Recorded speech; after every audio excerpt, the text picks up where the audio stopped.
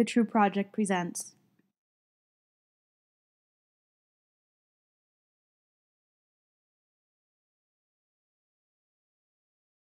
Hi there, my name is Fiona Maisel. I'm a disabled artist and advocate, and I'm excited to share with you today how to draw the invisible.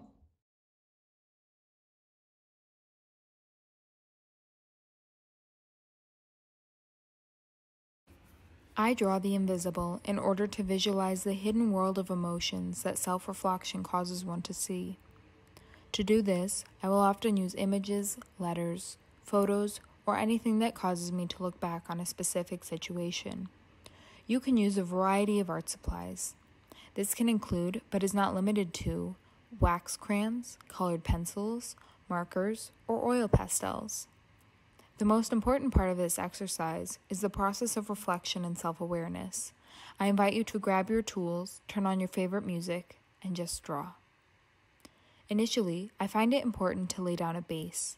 This is done by accentuating the photo and the page with colorful markings.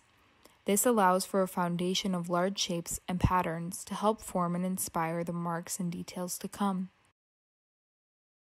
The next step is to overlap more layers of texture, color, and material to add depth and meaning to your work.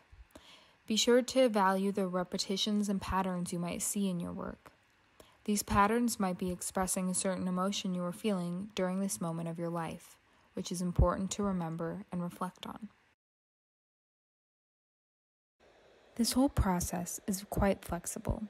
Personally, I like to incorporate color into these works for I find it allows mood variation.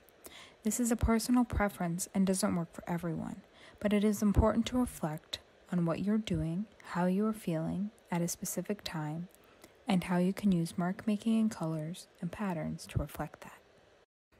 As this project is coming to an end, I hope you were able to take some time to reflect on both the process and how this plays into everyday life.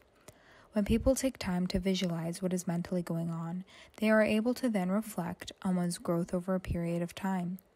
Especially through times like this of uncertainty, reflection and self awareness are extremely relevant and should not go overlooked.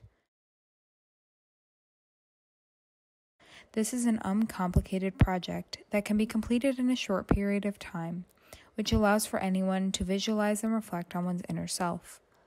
When looking at your final work, take into consideration that this should not be a masterpiece.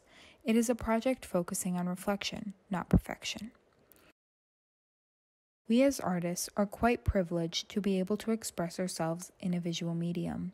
I hope that by taking time to just create and not focus on creating the next masterpiece, the process of art making and the label of artist becomes more accessible.